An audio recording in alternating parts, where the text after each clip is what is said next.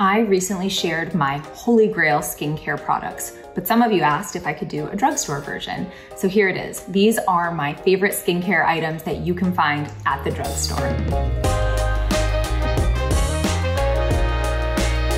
I'm Dr. Sam Ellis and I'm a board certified dermatologist. I'm here to help you understand your skin and find skincare products that work for you. First up is the Panoxyl Acne Creamy Wash with 4% benzoyl peroxide. I talked a lot about benzoyl peroxide in my body acne video, but essentially benzoyl peroxide is like the holy grail ingredient of acne skincare. And that's because it's antimicrobial and it's anti-inflammatory, and you can't build up a resistance to it like you can for antibiotics. Over-the-counter benzoyl peroxide preparations can range in strength from 2.5% all the way up to 10%. And I really like that this Panoxyl one sort of falls in the middle ish at 4%. That's because it makes it gentle enough to use on your face and not be too irritating because one of the main side effects of benzoyl peroxide is that it can be irritating or drying to the skin, but it's totally potent enough to use on the body as well. So to me, it's sort of like a two in one acne product. It can be used to clear existing acne, but also it has this preventative aspect because it does work on keeping the pores unclogged. It prevents those new acne blemishes from ever making it to the surface.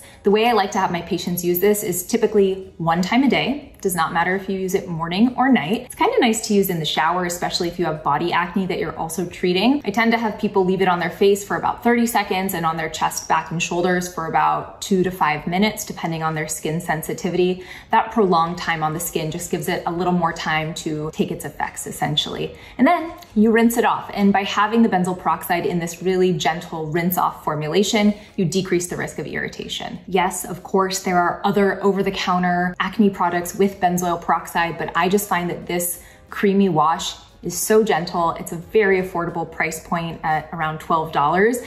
And I just find that so many of my patients have great success with it. One thing I should also say is that this product is really versatile. You, you can use it for more than just acne. So if you're prone to really bad body odor, which is usually due to bacterial byproducts colonizing your sweat, you can actually use it in your armpits for 30 seconds or so in the shower to help remove excess bacteria. It's also great for washing the feet. So if you have really stinky feet, getting it between your toes and on the bottom of your feet helps prevent bacterial buildup and keeps your tootsies smelling good. Next Next up is the Vanicream Gentle Facial Cleanser. And I just have to give a shout out to Vanicream as a brand overall. I think for people who have sensitive skin, they make really amazing products because they make it a point to formulate without a lot of the common allergens and irritants like fragrance and preservatives. I mean, preservatives are not bad, but for people who have super sensitive skin, Sometimes they can cause problems.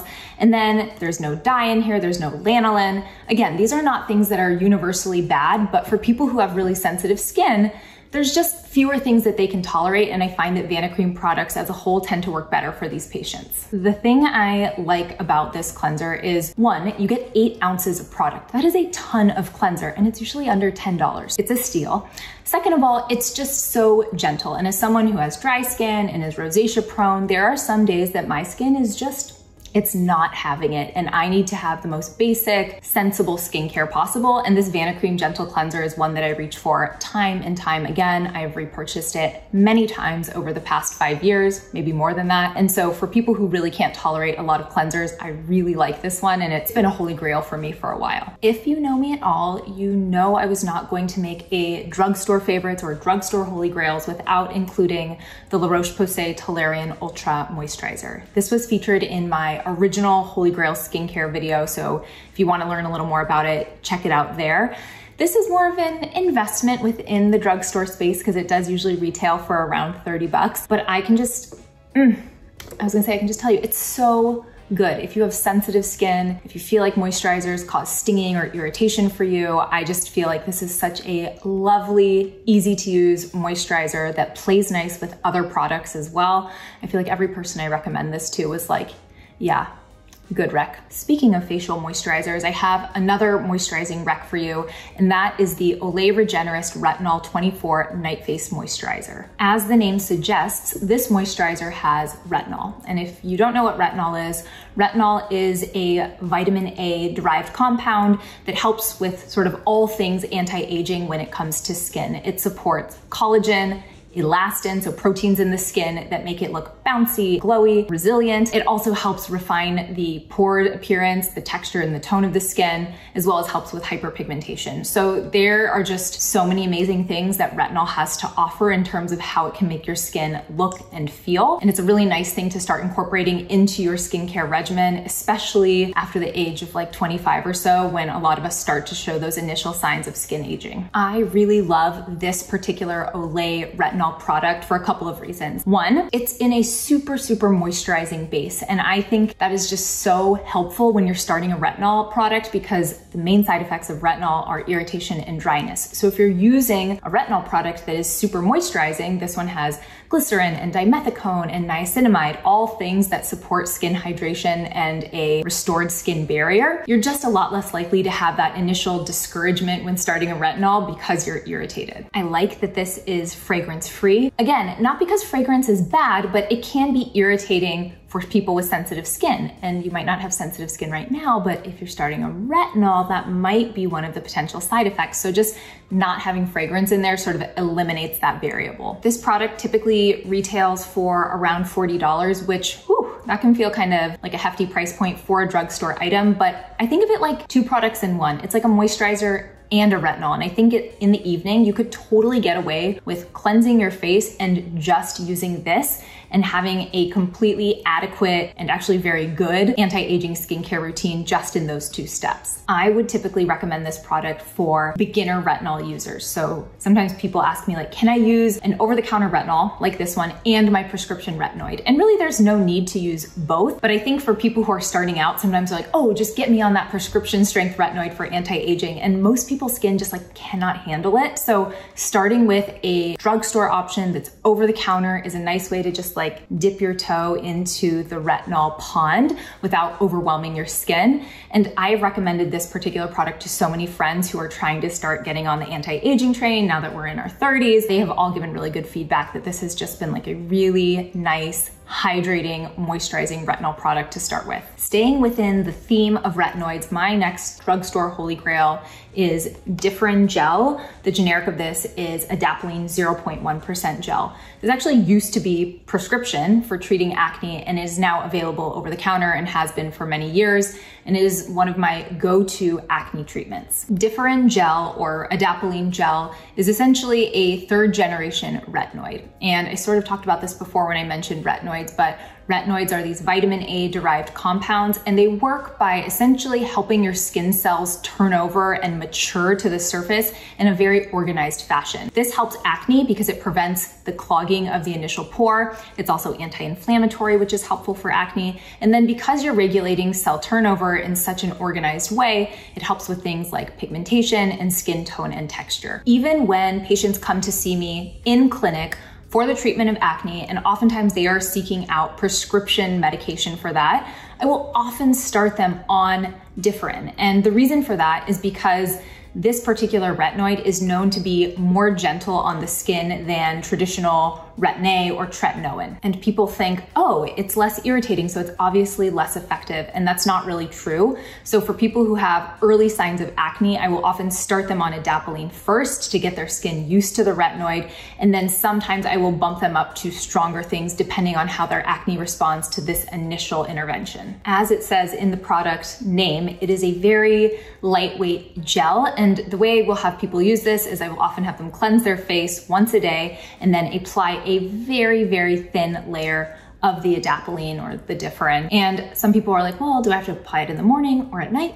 It doesn't matter. So adapalene is photostable, meaning that it is not sensitive to breakdown by UV radiation, so you can use it whenever it's convenient for you in the day to use it. I do have a sunscreen in my drugstore Holy Grails. I couldn't not have at least one sunscreen, and it is the Banana Boat Light as Air Sunscreen Lotion SPF 50. If you hate the feeling of heavy body sunscreen and you feel like you're just like sticky and just sort of like transferring it onto everything that you touch, this is the sunscreen for you. It is truly light as air. You put it on and you're like, where did it go? In the best way. It doesn't dry down entirely matte, so it doesn't make your skin feel dry or look dehydrated, but it also doesn't leave this like thick film on the skin. I love that it has 80 minutes of water resistance too. So if you're out and you're doing a sweaty activity, it's totally going to hold up. One thing to keep in mind is that the UV filters in here are all organic or chemical filters. There's no zinc or titanium dioxide in here to give you UV protection. In terms of efficacy, that does not matter. This is still a broad spectrum sunscreen that protects you from both UVA and UVB. I don't feel like zinc sunscreens are superior to sunscreens with organic filters. And I really prefer the organic filters for my body sunscreen because it just goes on so much better and I don't feel like I'm transferring white to like everything that I touch. So if you are like me and you just don't like the feeling of body sunscreen or just being covered in something like sticky and heavy, try the Light as Air sunscreen by Banana Boat. It is awesome. And then if you try it, tell me how much you loved it because I know you're gonna love it. I have a semi makeup item on here. I don't think it really counts as makeup, but that is the Burt's Bees Tinted Lip Balm. I have used their tinted lip balms for like a decade, maybe more. And I use the shade Red Dahlia. That is my favorite. It's what I'm wearing on my lips now. This is just such a comfortable formula on the lips. It is hydrating, it is moisturizing, it has this really beautiful sheer tint of color so you can put it on on the go and not look like you just chugged a glass of Kool-Aid, but it stays for a long time. And the reason for that is it's not petrolatum based. So things that have petrolatum are really great at moisturizing and they are great occlusives and I love them. And I'm about to talk about a product with that in it. But things that are more wax based tend to just hold better on the skin. And so that's why I like this particular product is because you put it on and then it stays and you don't feel like you need to check in on it every hour. Even though I love this product, the physician in me and the dermatologist in me does have to mention that if you are someone who is really prone to sensitivity of their lips, you might want to avoid this just because it has so many different botanical extracts and oils in it. And people who tend to have sensitive skin can get reactions to these types of products. So proceed with caution. The good news is it's like $6. So if you try it and it's not for you, you haven't lost out on everything. Another drugstore product that I love and I actually talked about in my other skincare holy grails video, so I won't go into too much detail, is the CeraVe Healing Ointment. This is like $12 for three ounces. I really like that it's in a tube because you don't have to like dip your fingers in to uh, get it out. It is a little hard to squeeze. Oh, of course it squeezes out perfectly now, but I love using this on my lips and on my cuticles as well as on super dry areas like my elbows and knees. And I just find that it stays a little better on the skin than like pure Vaseline, although I do love pure Vaseline as well. So if you want more info on that, check out my original skincare holy grails video. Moving into body moisturizers, there are a ton that I love, but a couple have made my favorites list. And one is the Amlactin Daily Moisturizing Body Lotion. I don't have it here right now because I personally use this more in the winter time, but this is such a wonderful, hydrating, lightweight body lotion that utilizes the beneficial properties of lactic acid. Lactic acid is an exfoliant, so it helps slough those outer layers of dead, dry skin cells. And it's also a humectant, so it helps pull water from the deeper layers of the skin and from the environment to help hydrate the skin's surface. I love this for my patients who have rough and bumpy skin. So they might have keratosis pilaris, the little chicken skin, or bumps on the upper outer arms or on the outer thighs or on the buttocks that bother them. And amlactin is a really great first product to start with because it is both effective and really gentle. And as we age, our skin gets so much more dry. So using something like amlactin that's not only going to help exfoliate, but also help hydrate is a great way to keep your skin looking and feeling good. A bottle of this usually costs somewhere between like 13 and 17 bucks or so, which is pretty standard for a moisturizer that also has alpha hydroxy acids. One thing I also wanna say is because this has lactic acid, which is an alpha hydroxy acid, it will increase your sun sensitivity a little bit. So if you are using this on exposed areas of your skin, you definitely wanna make sure that you're also applying sunscreen during the day. One other body lotion that I wanted to give a shout out to is the Nivea Essentially Enriched Body Lotion. You can see I buy it in a very large bottle. This is probably my most commonly used body lotion, and it's because it is so nourishing. It feels so luxurious on the skin, and it just gives your skin such a beautiful glow. Like afterward, you don't look greasy or shiny, but you do glow a little bit and like Who doesn't want that? The main moisturizers in here are mineral oil, glycerin, and petrolatum. And I think a lot of people hear mineral oil or petrolatum and they're like, ooh, doesn't that come from crude oil? Isn't that gonna be carcinogenic? No. The mineral oil and the petrolatum that is used in cosmetic products is highly, highly, highly refined. It is not carcinogenic. It is not problematic. So I just encourage people not to be afraid of products with mineral oil in them. They're not dangerous. I think that this lotion is so rich and creamy that it almost behaves like a cream. And creams tend to come in jars, they tend to be really, really thick. And although that is what we commonly recommend as dermatologists for people who have really dry or eczema prone skin or atopic dermatitis, not everyone can use a cream because it's not enjoyable to use. It feels too sticky on the skin. They won't be compliant with it because it just feels too heavy. And I think this lotion kind of bridges the gap there where you get a lot of moisturization. It feels incredibly nourishing. You have prolonged moisturization with it, but it's not as heavy as a cream. And I think people might be a little more compliant when using it. We are almost done. Time to get into the sexy stuff foot cream. this is the Kerasal Intensive Foot Repair. And it's not really my holy grail because I don't have problem with dry cracked heels, but my husband does, and this works great for him.